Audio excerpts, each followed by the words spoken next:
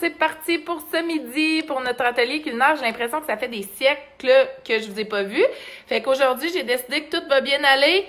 J'ai mis euh, mon costume de licorne. Donc aujourd'hui, on fait un pain de viande. Et là, je sais que le pain de viande, souvent, c'est pas quelque chose qui est trendy. Là. on n'est pas comme en mode Oh yeah, on mange du pain de viande. Mais pour vrai, c'est un repas que euh, vous allez mettre de la viande à l'intérieur, point. On s'entend, c'est vous qui choisissez les choses que vous allez mettre dedans aussi. Donc, très facile de pouvoir, euh, de pouvoir gager ce qu'on fait. Là, j'en ai qui me, qui me parlent de toutes sortes de types. Là, tu sais, vous avez des recettes italiennes, des recettes euh, asiatiques, des recettes keto. Dites-moi ce que vous aimeriez que je cuisine avec vous autres, puis je vais le faire avec mes ailes de licorne. Alors voilà. Donc, euh, c'est mon, mon trip aujourd'hui. Tu sais, je sais plus quoi mettre. On sait plus comment s'habiller dans la maison. Il y en a beaucoup qui disent de lâcher le pyjama. Fait que c'est pas vraiment un pyjama parce que c'est un peu trop chaud. Mais en tout cas, bref, on y va en licorne aujourd'hui. Alors, euh, mon pain de viande, là, j'ai choisi une recette en plus. Je suis pas allée euh, avec une recette Tupperware typique. c'est la raison pour laquelle j'ai, fait une recette personnelle à moi. C'est qu'en fait, en général, toutes les recettes que vous avez, euh, que vous trouvez vous-même, sont toutes convertibles en Tupperware. Fait que c'est pour vous montrer à quel point on est capable de choisir nos recettes personnelles, mais de trouver des moyens pour les cuisiner plus rapidement, plus facilement. Donc, d'avoir d'être moins fâché de les cuisiner. Tu sais, des fois, là, quand t'es là, puis admettons que ça te tente de manger un risotto, là, j'en parle souvent du risotto parce que à matin à Salut Bonjour, justement, il parlait du risotto. Donc, euh, il, il, disait, bon, faut que tu brasses, tu brasses, tu brasses, quand tu penses que assez brassé, faut que tu brasses encore. Mais qui va se cuisiner un risotto un mardi soir en revenant de travailler quand les enfants reviennent de l'école qu'on est tous comme euh, tannés de notre journée, que tu sais que tu vas faire 50 millions de vaisselle et autres, c'est pas ça que tu as envie nécessairement. Mais quand tu as les bons outils Tupperware, ton risotto, ben ça te prend 15 minutes puis il est prêt. Donc, tu es capable d'avoir les recettes que tu as envie de manger n'importe quand dans la semaine juste parce que tu es bien organisé. Et ça, ça demeure tout le temps notre mission à Tupperware. Donc, de vous aider à sauver du temps, sauver de l'argent, manger mieux écologiquement. Donc, mon fameux pain de viande ce matin, c'est un pain de viande de mince à vie. Alors, pour celles qui sont au régime, euh, vous pouvez y aller. Puis, je suis vraiment super contente parce que dedans ma recette, ah, ben, je vais vous l'expliquer tantôt. Je vais commencer avec ma base. Donc, avec ma base, j'ai déjà ma viande hachée qui est là. Les autres recommandent du veau. Moi, j'avais pas de veau, fait que j'ai pris du bœuf. Extra maigre, là. Allez-y avec ce que vous avez. À la limite, là, je suis à peu près sûre que ça serait excellent fait avec du porc. Donc, c'est la sorte de viande hachée que vous avez envie. Si vous n'en avez pas, ben, vous pouvez en faire vous-même à la maison de la viande hachée avec le maître saveur. Super simple à faire. Faire des burgers de poulet ou des choses comme ça, c'est vraiment, vraiment simple. Alors, je vais remettre ma licorne pour pouvoir euh, faire euh, les ingrédients. J'ai de la misère avec mes cheveux, par exemple, dans ma licorne. Alors voilà. Donc, euh, je vais utiliser mon extra chef, bien sûr, parce que je vais avoir besoin, oh, j'ai oublié de sortir mon oignon, d'acheter mes aliments. Donc, mon extra chef, hey, c'est le fun, hein? Tu sais, quand dans ta cuisine, tout va bien, ton oignon, il est déjà prêt. C'est pas pire, là. Fait qu'il va falloir que je m'en fasse d'autres pour le restant de la semaine parce que là, il m'en reste plus. Donc, c'est mon dernier oignon utilisé. Je vais me faire une batch de, de crudité cet après-midi. C'est ça que ça veut dire. Euh, bon, ok, je mange pas des oignons en crudité, là. Voilà. Alors, euh, mon extra chef, j'ai mis mon oignon.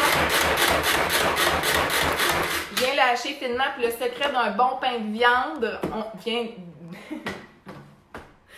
le secret d'un bon pain de viande, c'est euh, d'avoir des petits morceaux quand tu mets des légumes dedans parce que sinon, ça fait trop gros. Fait que là, tu rajoutes, eux autres disent de mettre des céleris. Moi, je vais mettre des céleris et des carottes. Puis tu sais, quand je vous dis, là, tu pitches tes affaires, c'est le même, ça marche, c'est le même le plus facile. OK? Fait que cassez-vous pas la tête. Euh, on a eu deux mains, on est chanceux. Alors, on pitch ça de même, c'est réglé. Fait que mon céleri est passé dans mon crouch-crouch dans mon extra chef. Puis là, ce matin, on vous a fait une belle capsule sur le nettoyage euh, de, euh, du couvercle de l'extra chef. Et moi, je vais rajouter ici aussi euh, des carottes parce que j'aime bien ça avec des carottes dans ta tente.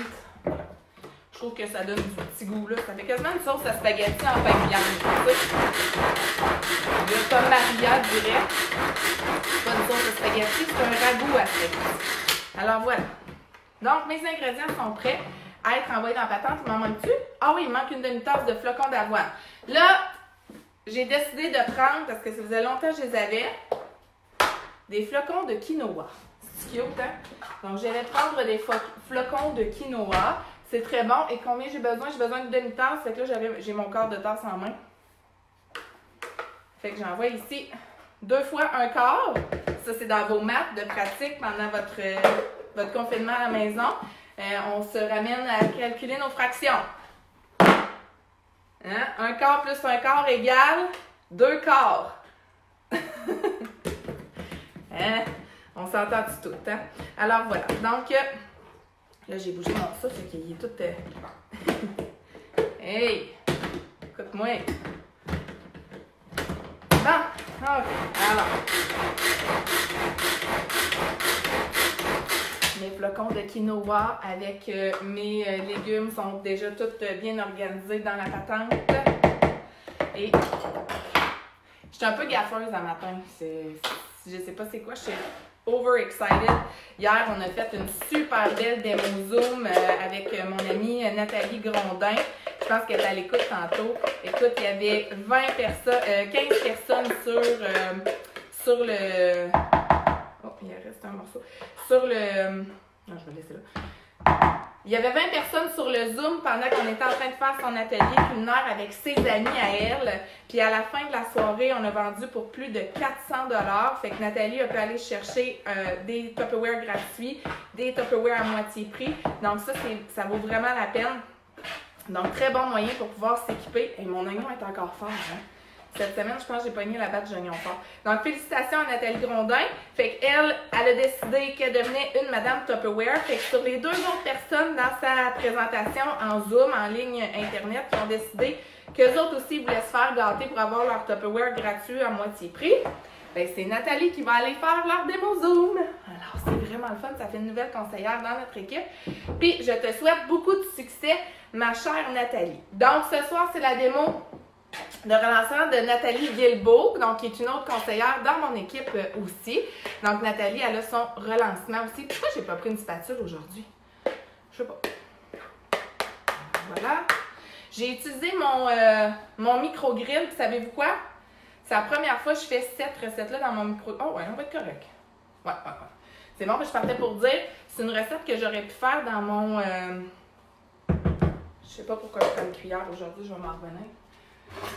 Donc, euh, c'est une recette que d'habitude je vais faire dans mon. Euh, voyons, je vais-tu dire dans ma ronde, mais là aujourd'hui je l'essaie dans mon micro-grill parce que je veux voir ce que ça va faire en le faisant griller un peu. Donc, j'aplatis bien mon pain de viande comme il faut. Donc, j'avais mis une livre et demie de bœuf haché à l'intérieur. J'ai mis des carottes, des flocons euh, d'avoine.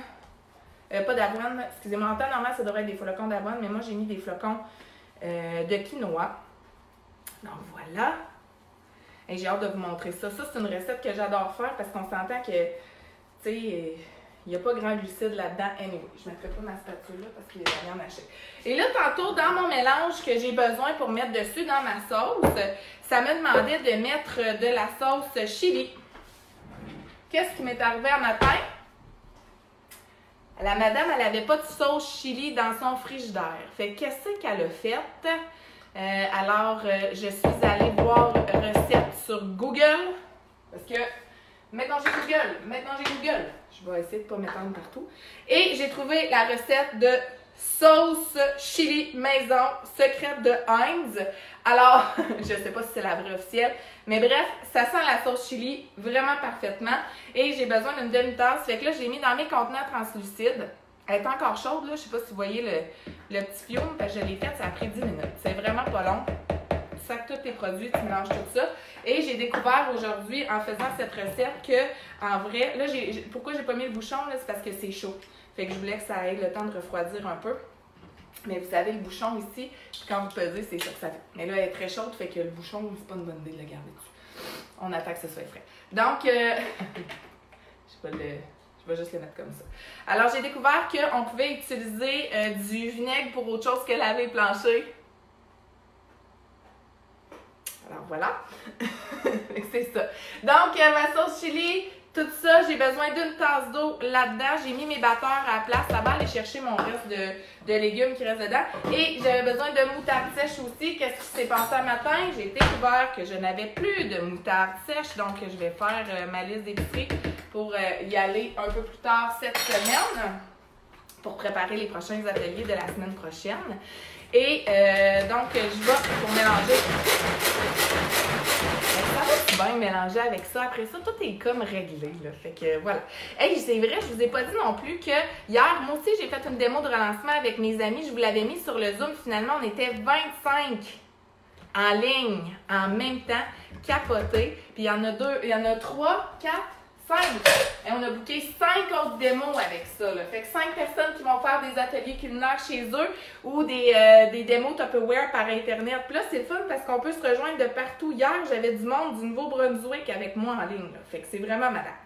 Donc voilà, ma sauce est installée dans mon, euh, mon micro-grill. Et ce que je vais faire, je vais utiliser la position de mon micro-grill pour que ça ne, ça ne cale pas au fond. Donc, je vais laisser juste couvert. Donc, c'est la position, euh, moi je l'appelle petit grille-pain. Tu sais, que ça écrase pas, mais euh, que les choses dedans vont être dedans. Et là, ce que j'ai fait pour mon temps, c'est vraiment simple. Je vais vous expliquer, je vais partir tout de suite là. OK. Alors, le truc avec ça, c'est que vous avez la recette qui est là. La formule 5-4-3. Ça, c'est la formule que vous pouvez utiliser quand vous voulez euh, modifier ou convertir une recette au four par une recette au four micro-ondes euh, ou par Tupperware. Donc, avec un contenant au micro-ondes, bien sûr, on s'entend. Donc, ce qui arrive, c'est que tu vas utiliser la formule 5-4-3. Donc, ce que tu vas commencer, c'est prendre, diviser ton. Ben, là, je vais le dire un moment donné. Hein, dites-moi là, André, en ligne. Alors, voilà. Donc, je divise le degré du feu par 5. Fait que là, il fallait que je mette mon four à 350. Je vais le diviser par 5. 350 divisé par 5, ça me donne 70. Donc, je vais réduire l'intensité de mon micro-ondes à 70% Ça, c'est le power level sur votre micro-ondes. Donc, on le baisse à 70 au lieu de 100% 5, ça, c'était ça. 4. Donc, divisé par 4 le temps de cuisson. Donc là, c'était 75 minutes de cuisson. Donc, je vais baisser mon temps divisé par 4 à 18 euh, minutes. Dans le cas ici, là, je, l'ai mis 15 minutes. Donc, je pense qu'en 15 minutes, on va être correct. Je vais le vérifier après avec mon thermomètre juste pour être sûr. Euh, quand même, ça c'est euh, défaut de fabrication André Thériault. Et je divise par 3 mon temps au micro-ondes après pour le repos. Donc, si je l'ai fait cuire 15 minutes, je divise 15 divisé par 3. Donc, ça va me donner 5 minutes de repos pour la nourriture. Pourquoi je veux reposer euh, ma recette, tu sais, quand ça fait bip bip bip, que je veux qu'elle reste en mode repos pour 5 minutes, c'est vraiment simple. C'est qu'en fait, ce qui provoque la cuisson dans le micro-ondes, c'est l'agitation des molécules d'eau à l'intérieur. C'est ce qui provoque la cuisson, la chaleur et la cuisson. Mais quand les ondes arrêtent, il n'y a pas d'ondes dans ma bouffe, mais il y a encore un mouvement des molécules à l'intérieur. Ce qui fait qu'il faut que j'attende que ça repose pour que l'agitation arrête, la cuisson arrête. Donc, c'est exactement comme ça que ça fonctionne.